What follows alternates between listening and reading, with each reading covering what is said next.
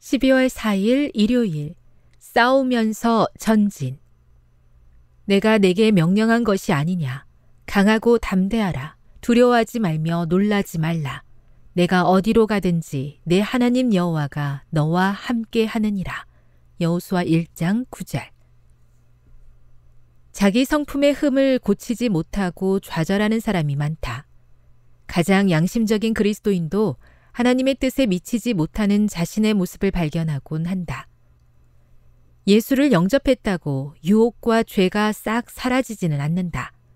그런데 죄에 맞서 싸우는 것을 행함으로 말미암는 구원으로 치부하면서 예수님을 신뢰하면 죄와 치열하게 싸울 일이 없다고 생각하는 이들도 있다.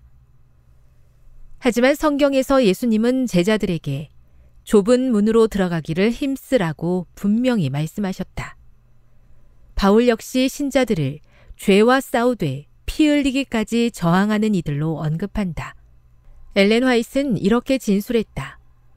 사람은 한순간의 결심으로 악의 세력에 빠질 수 있지만 그 족쇄를 깨뜨리며 더 숭고하고 거룩한 삶에 이루고자 할 때는 한순간의 결심 이상이 필요하다. 목적을 세우고 일을 시작해도 그것을 이루려면 수고와 시간과 인내와 희생이 필요하다.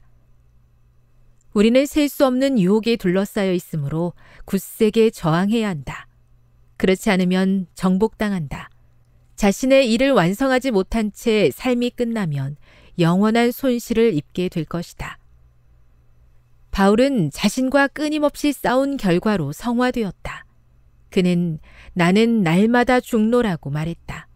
그의 의지와 욕망은 하나님의 일과 뜻에 매일 충돌했다. 본성을 거스르는 고통이 아무리 심해도 그는 자신의 기질을 따르지 않고 하나님의 뜻을 이행했다. 하나님은 자기 백성을 한 걸음씩 인도하신다. 싸우면서 전진하는 것이 그리스도인의 삶이다. 이 싸움에는 예외가 없다. 끊임없이 애쓰고 견뎌야 한다. 쉬지 않고 노력해야 사탄의 유혹을 계속해서 이길 수 있다.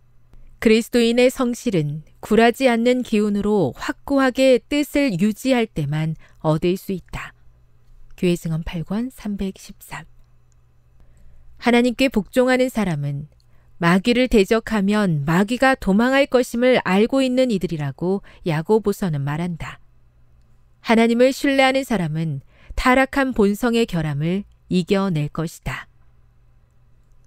내가 내게 명령한 것이 아니냐. 강하고 담대하라. 두려워하지 말며 놀라지 말라. 내가 어디로 가든지 내 하나님 여호와가 너와 함께 하느니라. 여호수아 1장 9절. 세계 선교를 위한 기도 제목입니다. 기타 지역의 에스라 선교사의 기도 제목인 선교 세미나의 예산 마련을 위해 함께 기도해 주세요.